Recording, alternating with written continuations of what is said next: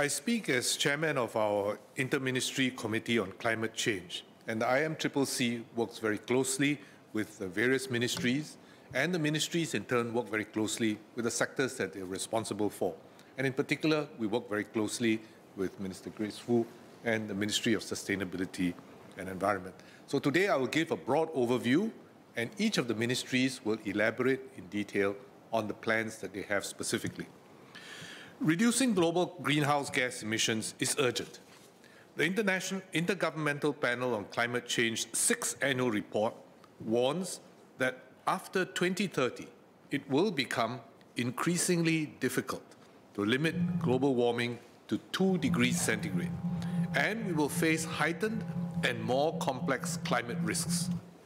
At COP26 in Glasgow, countries pledged to act but recent conditions have made it more difficult to stay the course.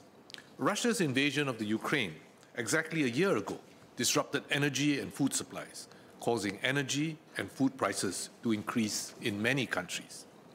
Despite these external challenges, Singapore decisively stepped up our efforts against climate change last year. In Budget 2022, we announced Singapore's intention to raise our climate ambition. In October, after several months of public con consultation, we formally revised our climate targets.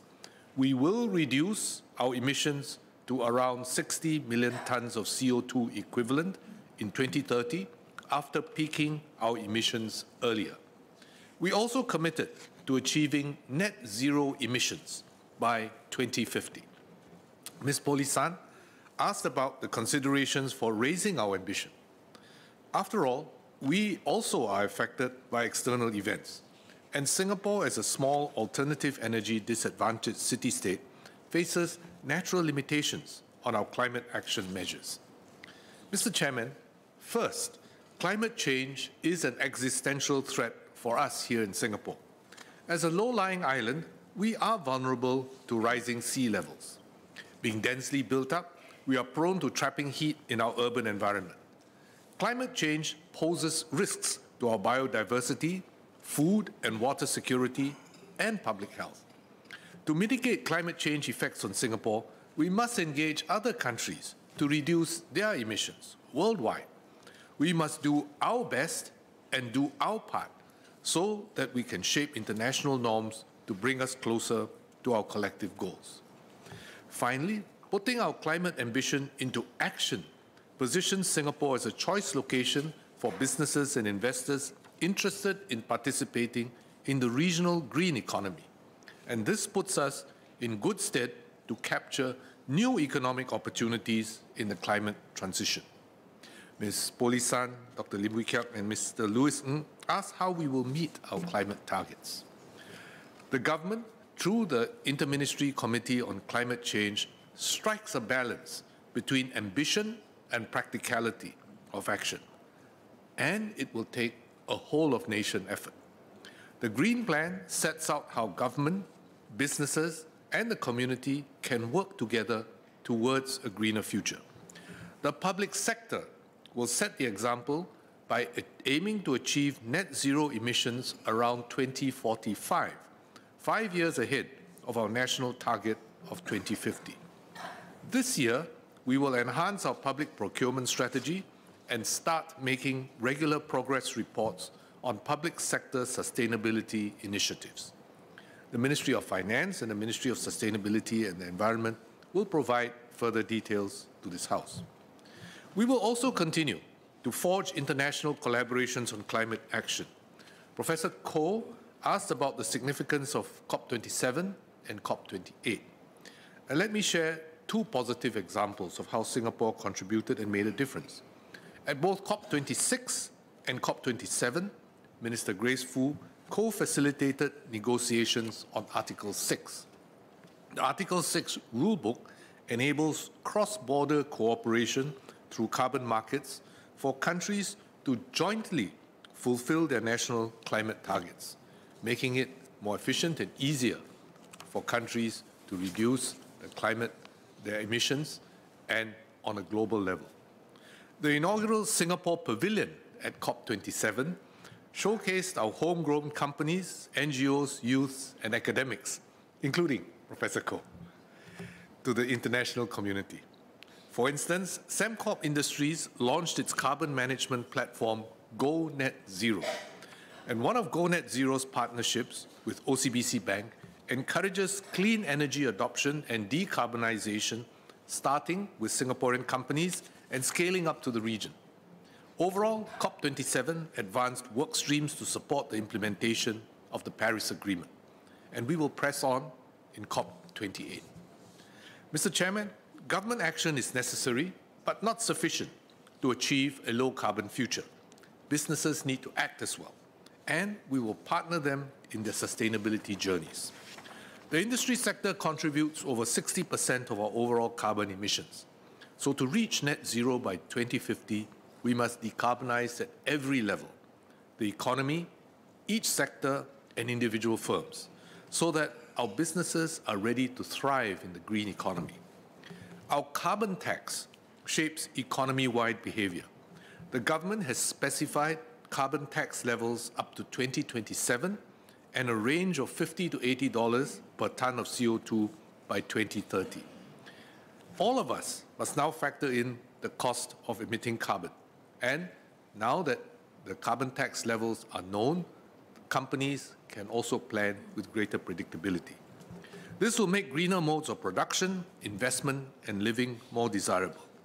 The carbon tax collected will continue to support businesses and households. We will invest in green technologies and infrastructure, extend energy efficiency grants to businesses, and cushion our lower and middle income households from the impact of the carbon tax on electricity prices with U-Save rebates.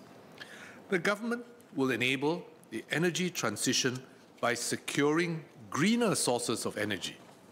Our national hydrogen strategy lays out a roadmap for the use of hydrogen with, which, with technological advancements, could potentially supply up to half of our power needs by 2050. And in the meantime, we continue to see how we can import green electrons. Mr. Louis asked about support for industry.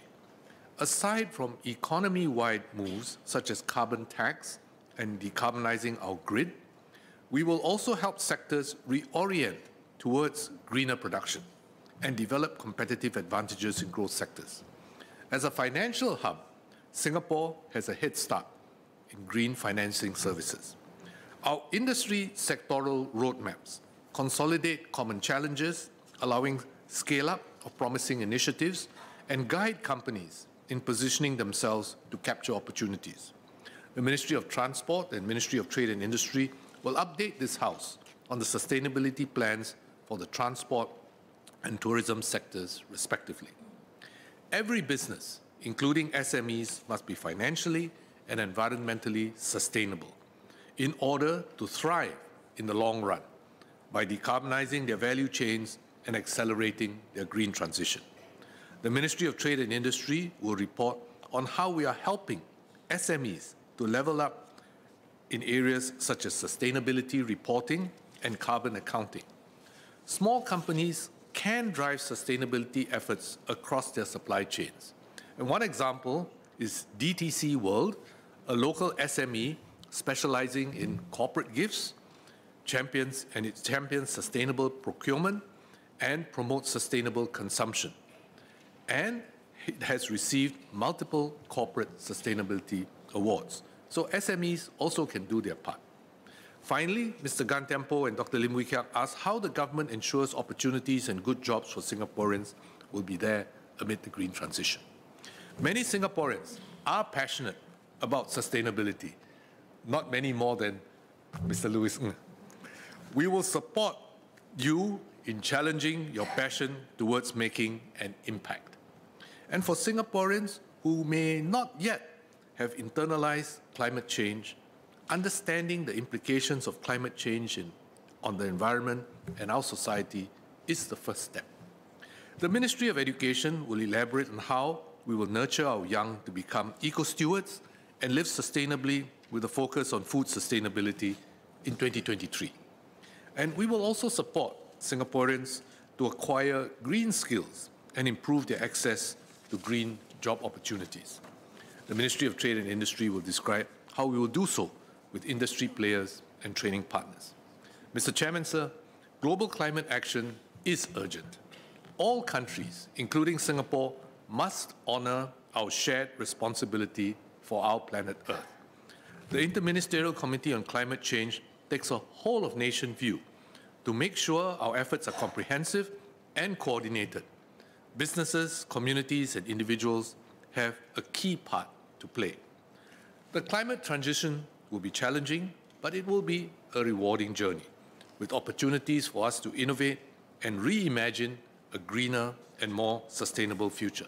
So let us work together towards a better and greener Singapore. Thank you, Mr. Chairman.